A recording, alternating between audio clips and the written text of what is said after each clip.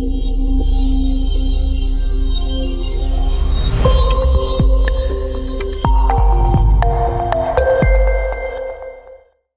everyone, uh, Lorena Oberg here.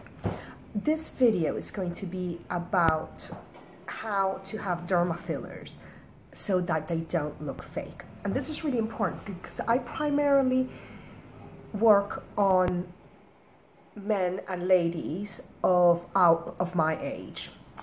Um, so over 40s, a little bit more for me, but um, and at our age, there's a lot of mistakes that I see women doing all the time that actually not only makes them look fake, but is aging them. These mistakes are made also by the younger generation. But of course, um, when a person is over 40, we want to stay within the bounds of dignity. Um, we, we, we want to be, not only do we want to be dignified, we want to be classy. And this doesn't mean that we're letting ourselves go. I mean, I am the last person that's aging gracefully around here. But I feel that I need to be a bit of an example for the kind of work that we achieve in, in my clinics. So um, I have seven tips of that, or, seven, or rather seven common mistakes that people make when they go to clinics to have derma fillers done. So the first one, we're going to talk about lips. When we age, our lips lo lose volume. So one of the things that's very important to have done is lip filler. Lip filler is going to give you back a little bit of the volume that you had when you were younger. Also, it's going to give you back your cupid's bow, and all of these things are, are youthful. The mistake I see all the time, and this is a celebrity train more than anything, is having both young girls and older ladies go and have lip filler.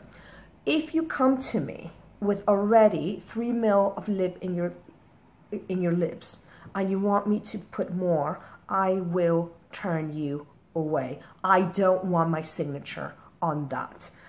It's not pretty. It doesn't look good. It doesn't look for anybody. I don't care your age, but certainly doesn't look good for someone over 40. In fact, it ages you. You will look older if you have fake big lips.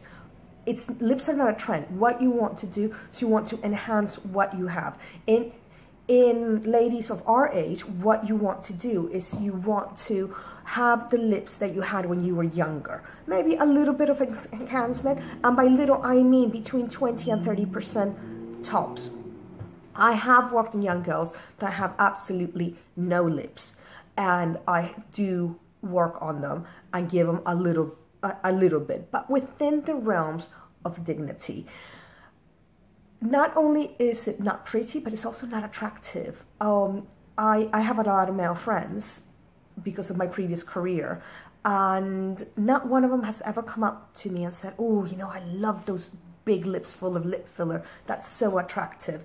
So if you're doing this because you think men think it's attractive, please don't. First of all, you shouldn't be doing anything on your face or body to because someone else might find you attractive. This is about you. This is about self-worth. So I don't care if you're young or older, big lips are not attractive. They look fake. And certainly if you're over 40, it's an absolute no-go. So the second thing is jawline. Um, I've been seeing a lot of pictures on Instagram of very prominent jawlines, especially in women. In fact, they sometimes they change the facial shape. Whilst a jawline is nice to have and it's nice to sometimes enhance your already existing jawline, it is not to give you a more chisel look.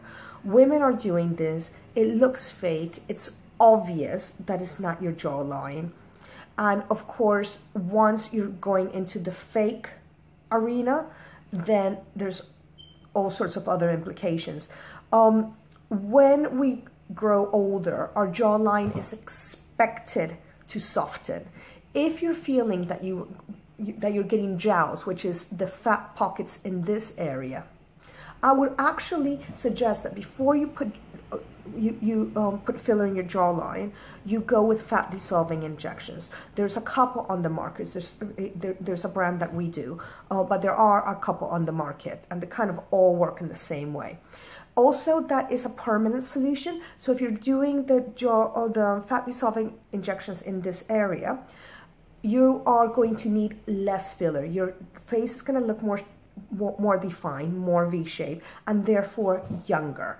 Uh, so if you're losing your jawline, if you're getting the double chin, and you're getting these jowls that tend to go in this area, and kind of the fat kind of comes down, and we all get them.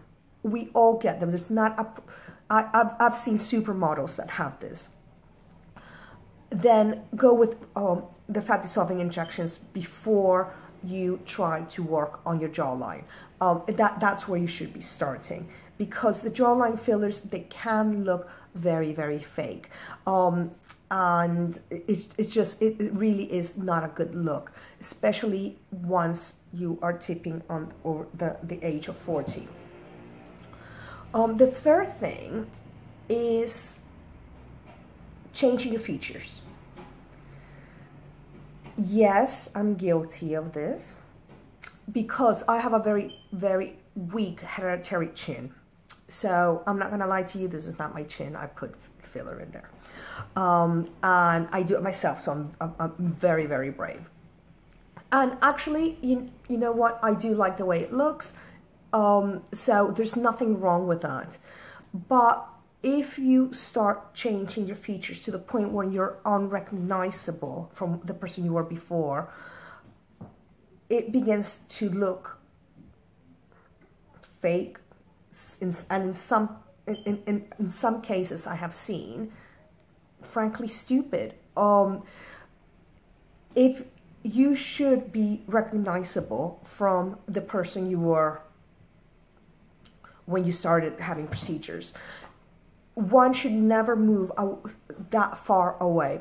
Um, I've seen people that have changed their jawline, they've changed their nose, they've changed their chin, they've changed their cheeks to the point where really I wouldn't, I, I, I don't recognize them. And you should be able to be recognized by your friends or family, especially your children. You know, they might think they're not living with their mother anymore or their father. So, you know, be careful. If you, and if you have teenagers, they are brutal and they will come after you. So don't change your features. Be proud of yourself. Enhance what you have. But you should never be looking to change the way you look completely. My, the fifth point is over high cheekbones. And there is um, this trend and fashion of having super, super high cheekbones. And whilst cheek, I'm a huge fan of cheek fillers. It's probably one of the first things that I will do on someone because if you have a limited amount of budget uh, you want something that's going to instantly take five years off, you want to have good cheeks. But there's a difference between having nice cheekbones and having something that quite frankly looks unnatural. And it's all down to the amount of filler that you have. A good practitioner should say to you, enough, I'm not putting anything anymore in there. Unfortunately, I see this done so much and I always wonder who is injecting them. So don't, don't um, rely on your practitioner, especially if you're going to see someone new. Have a good idea of where, look, look at a picture from you when you were in your 20s, 30s. That's going to be the best gauge of where your cheekbones should be. Everyone needs cheekbones. I'm convinced of this. I love having nice cheekbones. Um, and it is the one thing that's going to really help you take years off your face. Um, the fifth tip is if you're looking too perfect. We all have flaws. I'm actually guilty of this. I was waiting in line at a nightclub um, about two years ago, and a man came up to me and he said to me, "Oh my God, you have the most perfect features." And at that point, I realized I'd overdone it. So I let the filler in my nose wear out. Um, and I did have a bit of jawline. I let that go. And be, because nobody is that perfect. Nobody is that symmetrical. You should never look for absolute symmetry. Uh, because nobody has it. Everyone sleeps on one side, they sleep on the other. No one has absolute symmetry.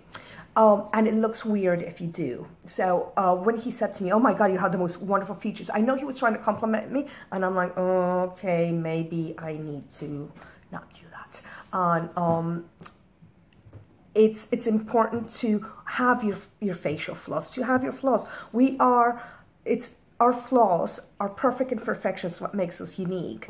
And you, you should embrace them. My sixth tip is don't try to look like a celebrity. Um, be unique.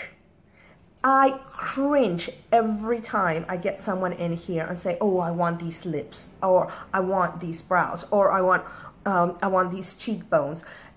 It's very difficult to give you one aspect of someone's face because it might not suit your face.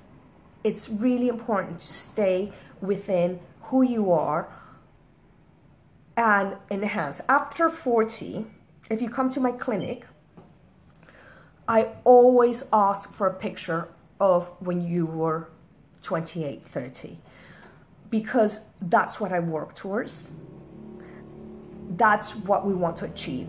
So if we're doing lips or we're doing cheek fillers, whatever it is that we're doing, what I'm trying to do is put back what time has taken away. And there's nothing, nothing wrong with that.